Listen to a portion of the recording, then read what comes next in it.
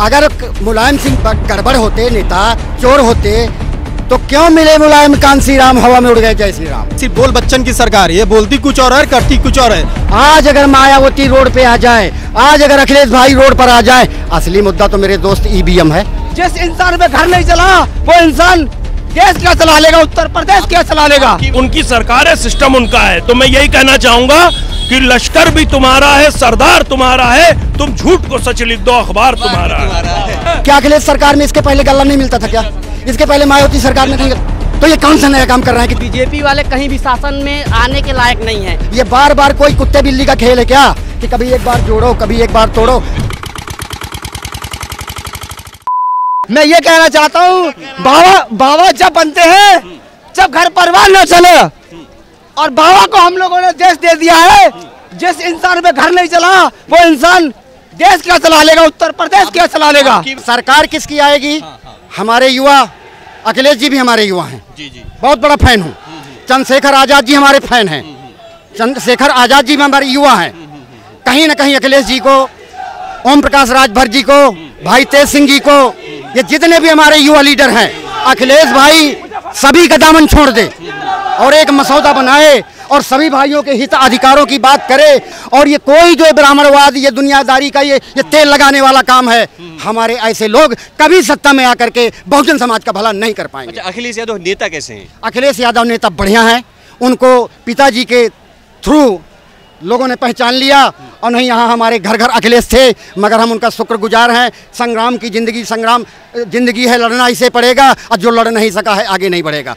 अखिलेश जी बराबर लड़ रहे हैं, योगी से बहुत लड़ रहे हैं। उनका भी जगह जगह शोषण हो रहा है। यादवों की एक तरफ़ से हत्या की जा रही है, ब्राह्मणों की एक तरफ़ से हत्या की जा रही है। बहनों के साथ बलात्कार होता है। ये जो योगी सरकार है ये छेड़ने का काम कर दिया है तरह तरह से। हमें ये भटकाने का काम कर रहा है कि आधे इधर जाओ आधे उधर जाओ बाकी मेरे साथ आओ और ईवीएम से मैं चुनाव जीत लूँ। हम योगी जी को चैलेंज देते हैं कि इस बार बदलाव लेकर के रहेंगे ये उत्तर प्रदेश है। ये बिहार नहीं है ना बंगाल है। बसरते ये फ़ील्ड भर देंगे हम जैसा आप चाहेंगे वैसा करेंगे। बसरते आवाज़ जानी चाहिए और हमारे अखिलेश जी हृदय में बसते हैं मगर कहीं ना कहीं अखिलेश अभी बच्चे हैं। पिताजी की में आपके अखिलेश हैं हैं अखिलेश हैं चंद्रशेखर रावण जी हैं। ये जितने नवयुवक हमारे उभर रहे हैं सब कहीं ना कहीं एस ओबीसी के लोग हैं हमारे दिलों पर हैं। अगर कोई कहता है कांसी राम का चेला गुरु तो चेला हम लोग हैं। हमने उनकी लंगोटी धोई है।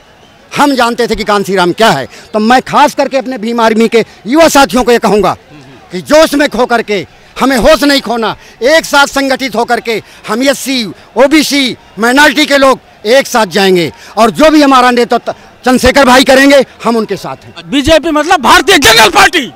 बीजेपी मतलब भारतीय जंगल पार्टी तरह तरह के नाम दिए जा रहे हैं पर बीजेपी सरकार में भारतीय जनता पार्टी जनता भारतीय झूठा गेट बंद। अब की बार आज़ाद सरकार होगी। तो योगी जी को मतलब बदलाव करने का मूड है? नहीं उसमें एक मसला है देखिए मसला मसला सीधी सी बात यह है कि बहुजन समाज के साथ बहुत जुल्म हुआ है। अच्छा। सात सालों में जगह जगह मॉब लिंचिंग के नाम पे मुसलमानों की हत्याएँ हो रही हैं। जगह जगह दलितों को कहीं कि तुम घोड़ी पे क्यों चढ़ गए? कि तुमने बारात बैंड बाजे से क्यों निकाल ली? कि तुमने मूछे क्यों ऐंठ ली? कि तुम बुलेट से बैठ के क्यों निकल गए? तो दलितों के साथ भी अत्याचार हो रहा है जगह जगह दूसरी बात दलित बहनों की हमारी जो एससी समाज की बहनें उनके जो रेप होते हैं जैसे मनीषा बाल्मीक अभी दिल्ली में किशोरी बाल्मीक उन पर कोई नहीं बोलता है। उन पर हिंदूवादी संगठन कोई नहीं बोलता उन पर कौन बोलता है? हमारा नेता माननीय चंद्रशेखर आज़ाद बोलता है। तो जो बहुजन की बात करेगा वही देश पर राज करेगा। वही देश पर राज करेगा लेकिन बदलाव करने का मूड है। हाँ, पूरी तरह से। बिल्कुल। योगी जी को काम के मामले में दस में से कितने नंबर देंगे आप? योगी जी ने बहुत अच्छे काम किए हैं इतने अच्छे काम किए हैं कि हमारे यहाँ जो है सड़क जो है कब्रिस्तान बनी हुई है तित्त गहरे गड्ढे। अच्छा वो तो बताते हैं हमारी सरकार में गड्ढे मुक्त सड़कें हो जाएँगी सड़कें बंद नहीं है बढ़िया। बताना चाह रहा हूँ देखिए देखिए उनकी सरकार है सिस्टम उनका है तो मैं यही कहना चाहूँगा कि लश्कर भी तुम्हारा है सरदार तुम्हारा है तुम झूठ को सच लिख दो अखबार तुम्हारा है। तुम्हारा है। पहले तो मैं आपको बहुत बहुत धन्यवाद करना चाहूँगा कि आप जिस तरीके से बेबाकी से दिखाते हैं मैं लगातार आपको यूट्यूब के माध्यम से देखता हूँ फेसबुक के माध्यम से देखता हूँ बहुत ही अच्छा लगता है कि आप लोग इस तरीके की पत्रकारिता करते हैं वरना गोदी मीडिया को देख लो भैया। तो क्या बताएँ इधर मोदी इधर मोदी इधर योगी इधर मोदी। इनको तो यही रहता है दिन भर बछड़ा छोड़ दिया खेत में बस वही परेशान करने वाला लोग दिखाते हैं। मोदी जी बढ़िया अभी देखिए इनका एक चैनल पे ए बी पी आज तक का दिखाया है कि मोदी जी फिर से चुनाव जीत रहे हैं योगी जी फिर से चुनाव जीत रहे हैं। भाई नाम क्या है आपका? मेरा नाम मुकेश सक्सेना है। मैं दूसरी बात कि मैं जो पूरे पचहत्तरों जिला की बात बता रहा हूँ आप किसी भी विधानसभा में चले जाइए जो ग्राउंड के लोग हैं जो ठेला वाले हैं जो मजदूर हैं जो जो जमीनी स्तर से जुड़े आप उनसे जाकर के पूछ लीजिए। ये बीजेपी वाले कहीं भी शासन में आने के लायक नहीं है। दो हज़ार वोट से ज़्यादा कहीं नहीं पाएँगे ये।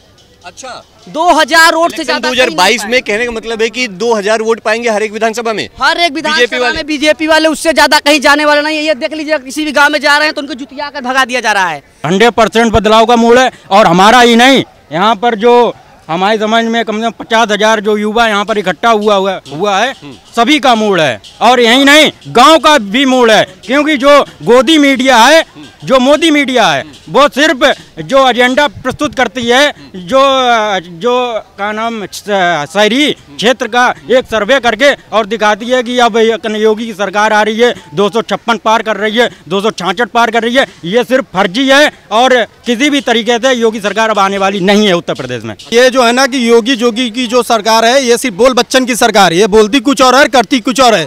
ये हमारे बाप का संविधान का लिखा हुआ है संविधान है हम इसको छीन के छीन के रहेंगे। सक्सेना जी बहुत बहुत धन्यवाद बहुत अच्छा लगा बहुत अच्छा लगा। और दादा कैसे हैं? बात सुन लो सर प्लीज़ सर भैया बताइए। सर मैं इटावा से आया हूँ Saifai S D M M C ने पंद्रह लाख रुपए ले लिए सर। प्रधानी का चुनाव जिताने के लिए मेरी ज़मीन एग्रीमेंट हो गई सर। अब न पैसा दे रहे सर मैं डीएम से भी मिल चुका हूँ दो तीन बार और मुख्यमंत्री जी से भी मिला मेरे पास सब साक्ष्य हैं सर। आईडियो क्लिप भी है सीओजी नंबर की एसडीएम साहब की। नहीं क्या मामला क्या है पूरा बताओ। सर एसडीएम साहब ने मुझे चुनाव लड़वाया था।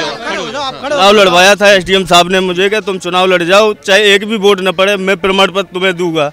मैं उनके बोला जी जी एम सिंह सैपई तहसील से हूँ मैं। तो मेरी ज़मीन एग्रीमेंट हो गई, पैसे थे नहीं मेरे पास देने हुए तो उन्होंने कहा, प्रधान, तुम्हें बना देंगे, पंद्रह बीघा खरीद लेना। मेरे माँ बाप ने घर से निकाल दिया मुझे, मैं बहुत दुखी हूँ। एस साहब की आई के लिए भी है मेरे पास।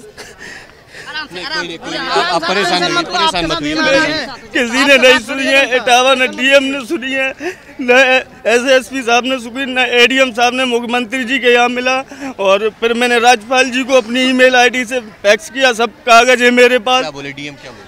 कुछ नहीं बोले कि मैं जाँच कर रहे पाँच महीने हो गए मेरी कोई सुनवाई नहीं हो रही मेरी ज़मीन जा रही साथ भी क्या ज़मीन एग्रीमेंट करा के पैसा दिया सर अच्छा मुख्यमंत्री जी तक आप अपनी बात पहुंचाएँ? जी सर मुख्यमंत्री जी को दो बार दिया मैंने एक बार केशव प्रसाद मौर्य जी उप मुख्यमंत्री जी मिले उन्होंने डीएम के लिए लिख दिया था कि इसकी जाँच करके आख्या मुझे भेजे लेकिन आज दिन तक मुझे कोई प्रार्थना पत्र सर नहीं मिला दोबारा वापस। न मुझसे किसी ने पूछा कि क्या हुआ तुम्हारे साथ? सर मैं बहुत दुखी हूँ मेरी ज़मीन जा रही है आत्महत्या करना पड़ेगी वो ऊपर से धमकी दे रहे हैं एस साहब के। तेरा मैं मर्डर करा दूँगा मुझे मेरी रास्ता घेरी जा रही है। है कोई तो- नहीं कानून पे भरोसा रखिए मुख्यमंत्री जी पर आप भरोसा रखिए। नहीं नहीं मैं मैं मैं भाई बिल्कुल करो, कोशिश जो मदद हो सके भी मेरी बिल्कुल बिल्कुल नहीं नहीं नहीं नहीं।